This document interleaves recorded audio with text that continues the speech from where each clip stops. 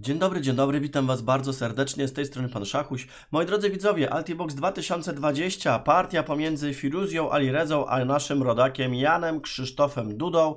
Jest to ostatnia partia z tego turnieju granego w Norwegii, w którym bierze udział m.in. Magnus Carlsen, mistrz świata, jakże, także i e, wicemistrz świata Fabiano Caruana.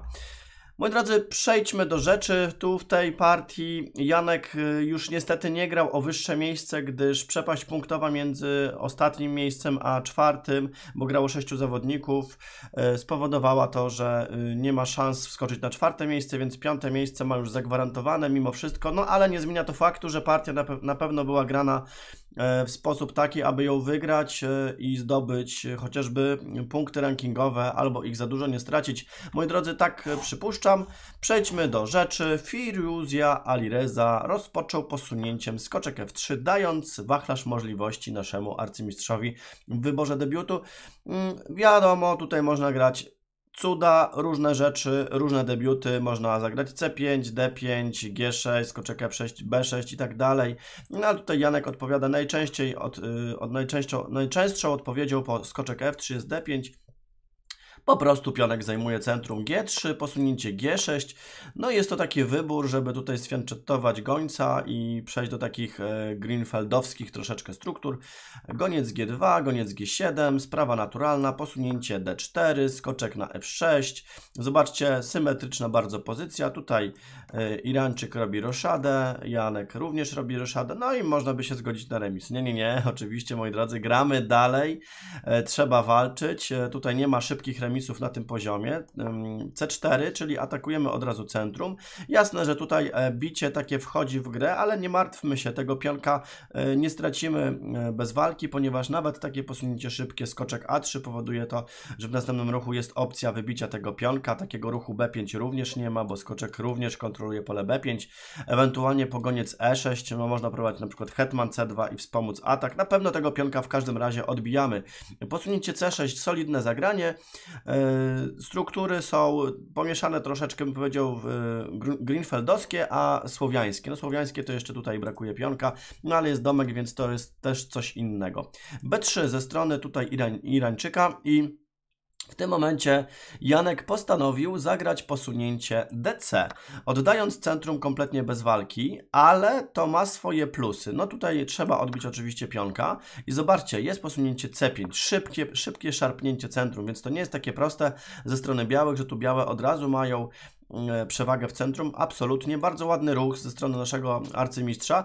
Przede wszystkim zobaczcie, że goniec tu się fajnie otwiera. Wieża e, może mieć kłopoty, jeżeli jakieś błędy nastąpią typu e, DC, co jest kompletnie złym ruchem. Także tak grać nie może. Nawet D 5 jest ruchem, myślę, że bardzo złym, no bo się to, to otwiera po prostu goniec, zagramy jakiś skoczek E4.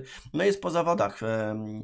Moi drodzy, w tym momencie oczywiście trzeba grać takie posunięcie, goniec B2, tak też poszło i tu wymiana, skoczek wybił. No i tutaj chyba Janko chodziło o e, właśnie taką strukturę, pionków. Zauważcie, że u czarnych e, struktura pionków jest nienaganna, a u białych już są trzy wyspy pionowe, szczególnie słaby jest pionek C4, ale czy będzie słaby, to tego też do końca nie wiadomo. E, na ten moment powiem Wam, że podoba mi się pozycja czarnych, e, lubię grać tego typu struktury, tylko trzeba grać tu naprawdę dokładnie, żeby nie wpaść w tarapaty. Hetman B6, bardzo ciekawy ruch, od razu stępem atakujemy gońca, na, wywieramy nacisk na skoczka, przygotowujemy wieża D8, fajne granie, myślę, że z na, naszego arcymistrza.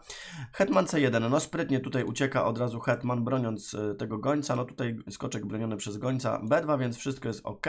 Goniec D7, bardzo ciekawe również zagranie.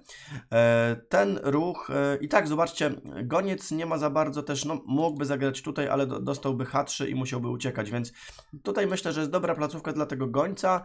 Są opcje, żeby czasem tutaj zagrać i wymienić tego potwora ale też goniec wspomaga tutaj e, rozwój skoczka na C6, żeby nie, nie psuć struktury pionów. Skoczek na D2, e, no i tutaj e, Firuzja już wyprowadził wszystkie figury i skoczek C6, Janek również tego dokonał. No i teraz nie nastąpiła seria wymian. Dla wielu mogłoby się wydawać, że to jest sprawa naturalna, ale im więcej wymienimy tutaj białym kolorem, tym większa przewaga będzie się kreowała u czarnych ze względu na strukturę pionów wcześniej wspomnianą. Także do końcówki tutaj Janek na pewno bardzo chętnie by przeszedł Skoczek C2 e, ze strony białych, wieża AC8. Naturalna sprawa, bardzo logiczna. Chcemy atakować piona, e, napierać na tego piona.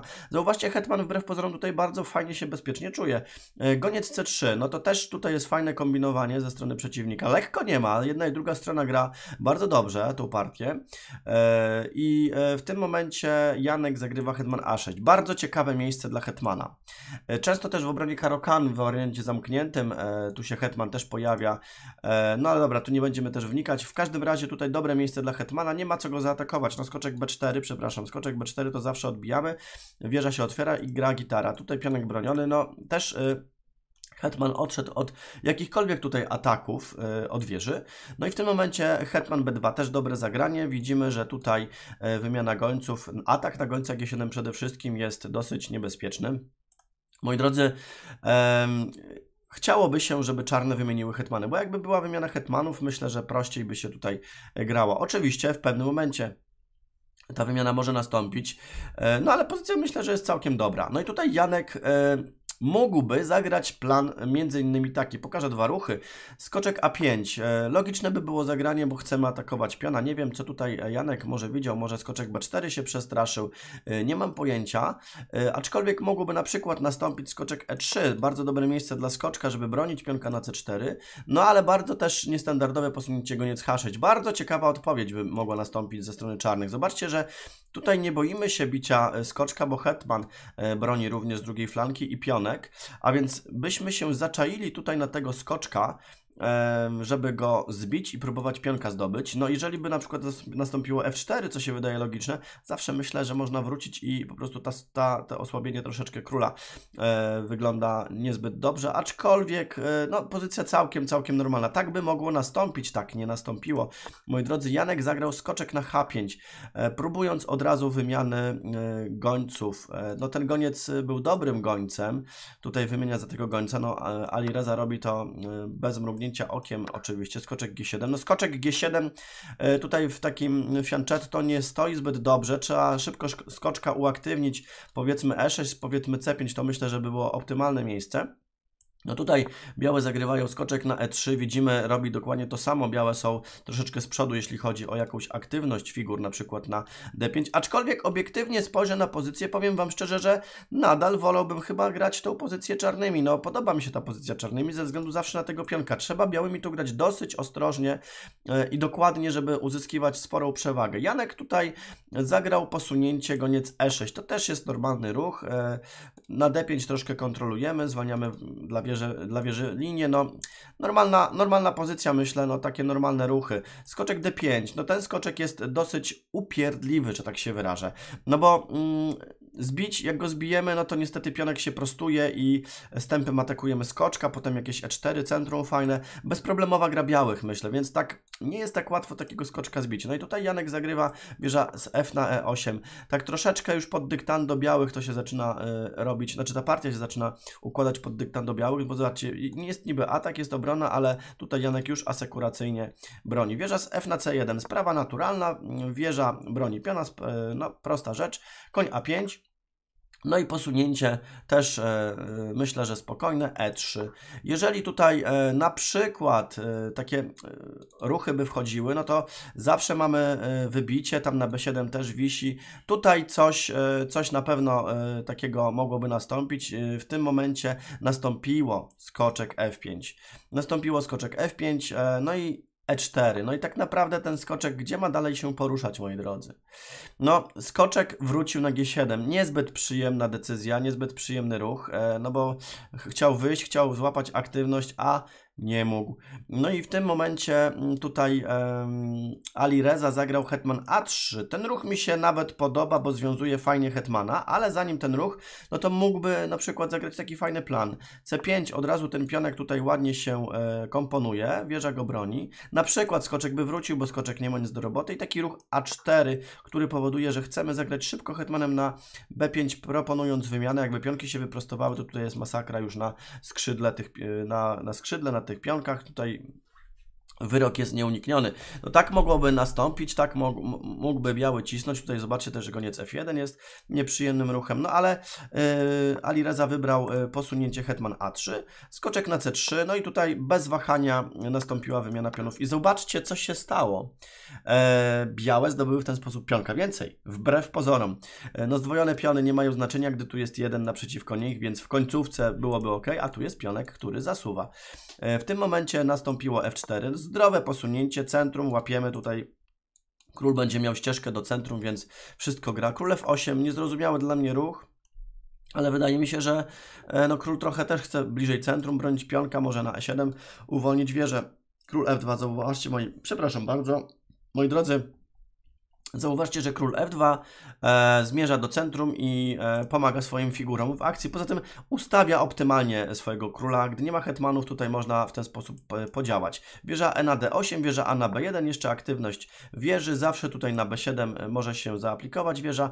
No i konik E8 to była bolączka czarnych, żeby tego skoczka gdzieś ustawić na bardzo aktywnym polu. Tutaj król zmierza do centrum. Posunięcie F6. No wiadomo, tutaj goniec zawsze jakąś ucieczkę będzie miał. Może E5 w przyszłości. E, no coś próbuje się tutaj czarny rozwiązać. Powiem Wam szczerze, e, przestrzeń mają e, ogromną białe i białe tutaj dyktują warunki. Przede wszystkim zobaczcie, te figury kompletnie nie mają jakichś e, pól aktywnych, nie mogą za bardzo podziałać. No koń A5 ewentualnie jakaś wieża B4, no tu się wszystko broni. Generalnie tutaj pionek również jest broniony, więc no ciężko coś zadziałać. I taki spokojny arcymistrzowski ruch A3. No w razie czego skoczek nie wchodzi, ale myślę, że to jest taki ruch wyczekujący troszeczkę. Zawsze goniec strzela pośrednio w tego piona, więc sobie sobie ten pionek e, lekko staje na e, czarnym polu.